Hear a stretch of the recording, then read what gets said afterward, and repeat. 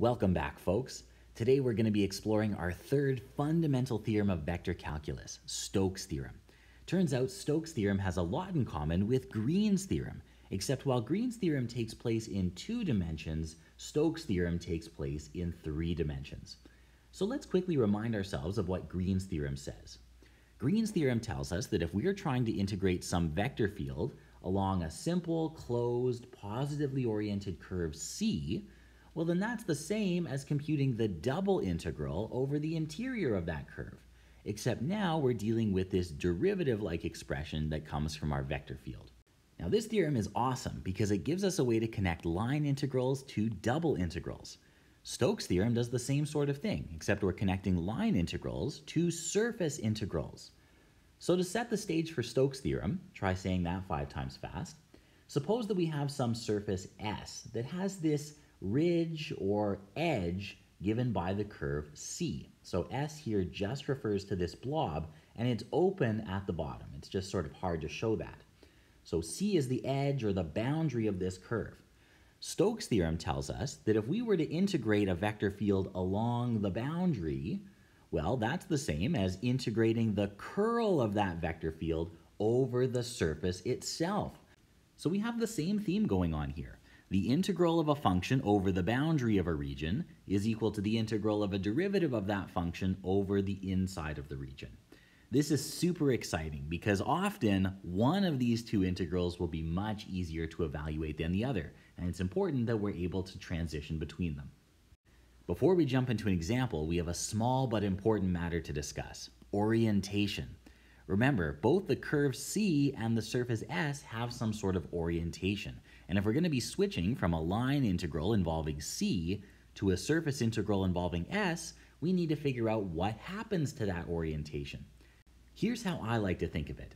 Suppose that we have some surface S that's oriented upward or outward, so the normals are pointing sort of like this. To figure out the orientation on C, well, what we're going to do is we're going to imagine a little man walking along the boundary curve with his head pointing in the direction of our normal vectors. So his head is going to be pointing up. He's walking upright in this picture. Now he wants to keep the surface to his left side as he walks along this curve. So which way is he going to have to walk?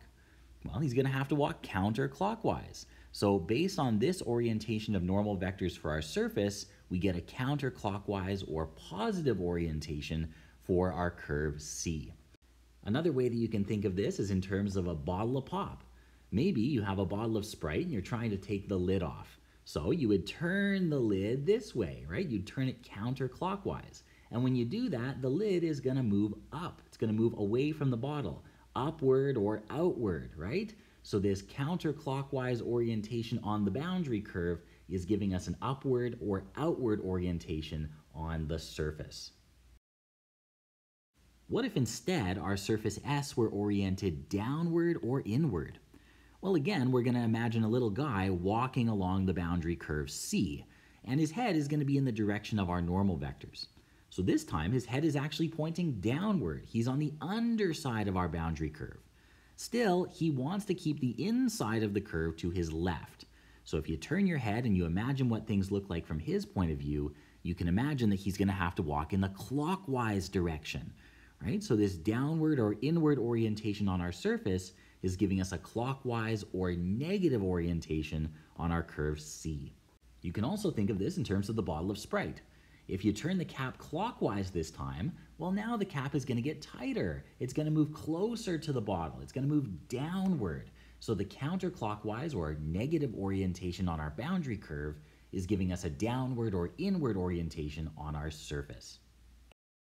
Okay, let's check out an example so you can see Stokes' theorem in action. Here, we're looking to evaluate the surface integral of the curl of f, where here f is this vector field, and we're integrating over s, the upper half of the sphere, x squared plus y squared plus z squared equals 9, oriented outward. Okay, well if we're going to use Stokes' theorem, we know that we can trade this surface integral, the surface integral over S of curl of f, for a line integral. We could instead compute the line integral along C of f dot dr, where here C is this boundary curve, right? It's the edge of our surface. Now, if we're going to evaluate this line integral, we're going to need to know the orientation of C. Well, we're told that S is oriented outward, right? So if you think back to the Sprite bottle, this is like us trying to remove the cap. If we're trying to remove the cap, we would have to turn it counterclockwise. C is oriented in the counterclockwise direction. All right, if we want to evaluate this line integral by definition, we're going to have to look for a parametrization of our curve C. Well, C is the circle of radius 3 centered at the origin and traversed counterclockwise. So we could use the parametrization r of t equals 3 cos t, 3 sine t, and of course z is 0. t is going to range between 0 and 2 pi. So once again, we have our vector field f, the parametrization of our curve c, and we're trying to compute this surface integral, which we've traded out for a line integral. Thanks, Stokes' theorem. According to definition, this line integral is really the integral along C of f of r of t dot r prime t dt. So we should probably start by computing r prime. The derivative of r of t is minus 3 sine t, 3 cos t, and 0. So this is going to give me the integral along C of, okay, f of r of t. I'm going to replace x, y, and z with these expressions here. That's going to give me 0, 3 cos t, 0, and I'm going to dot that with my derivative, minus 3 sine t, 3 cos t, 0. There's only one surviving term. We have the integral from 0 to 2 pi of 9 cos squared t dt. From here, I'm going to use a trig identity to make my integrand a little friendlier. I'll factor out the 9. I have the integral from 0 to 2 pi, and I'm going to replace cos squared t with 1 plus cos 2t over 2. At this point, I'll take the 2 out and find an antiderivative. This gives me 9 over 2. My antiderivative is t plus sine 2t over 2, and I evaluate from 0 to 2 pi. It's not too hard to see that this sine term is going to disappear under both bounds, leaving me with a final answer of 9 pi. Now folks, at this point you should be pretty impressed. We were able to compute this surface integral quite quickly by converting it to a line integral. We didn't have to parameterize our surface, we didn't have to deal with that gross cross product business. Hell, we didn't even have to compute the curl of f. We saved a ton of time by using Stokes' theorem. Now, if you don't believe me when I say that Stokes' theorem was a huge time saver in the last example, think again. If we actually compute the curl of our vector field, I'll let you work through the computations, you should get the vector 0, z, 1. Now, does this vector field look familiar? It should, because this is the same vector field we used in the last video. In fact, in our last lesson, we computed the surface integral of this vector field over the exact same surface. Last time we called it S1, but it's still the same cap of the sphere of radius 3.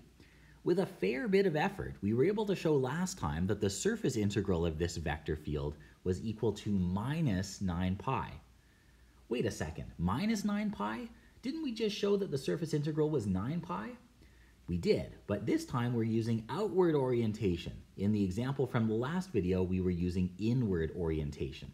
So if we were to switch the orientation, we would expect the answer to be multiplied by minus 1. The point here is that Stokes' theorem saved us a ton of time. It's a fantastic theorem. I'm going to end this video with a couple cool remarks about Stokes' theorem. Firstly, suppose that we have two surfaces S1 and S2 that have the same orientation and the same boundary curve C. So maybe S1 looks something like this. We have the boundary curve C oriented counterclockwise, and S2 looks a little bit more complicated, but still we have the same boundary curve C oriented in the same direction. Suppose now that we have a vector field F. According to Stokes' theorem, the surface integral of the curl of f over S1 should be equal to this line integral. But also by Stokes' theorem, the surface integral of the curl of f over S2 should be equal to this same line integral. Therefore, it doesn't matter if we integrate the curl of f over s1 or s2. We're going to get the same result. If you think about it for a second, that's insane. It means that integrating the curl of f over this crazy surface s2 should give the same result as if we integrated the curl of f over this flat surface here, which is no doubt much easier to work with. We just have to make sure we use the same orientation. Finally, I'd like to point out that Green's theorem is really just a special case of Stokes' theorem. Remember, Green's theorem helps us to evaluate line integrals over simple closed curves C in R2. But if we take one of those simple closed curves, we can imagine it in R3 by just plopping it down into the xy plane. Here's our curve C, and it encloses a region D. Now, since we're viewing all of this in R3, we can treat D like a flat surface. Maybe we'll call it S. According to Stokes' theorem, the line integral of our vector field along the boundary curve should be equal to the surface integral over S of the curl of F. Ah, but this is the surface integral of a vector field. So according to our definition, this is really the surface integral of the curl of F dot a unit normal vector n ds. But wait a second, if this surface is living in the xy plane, then it's perfectly flat.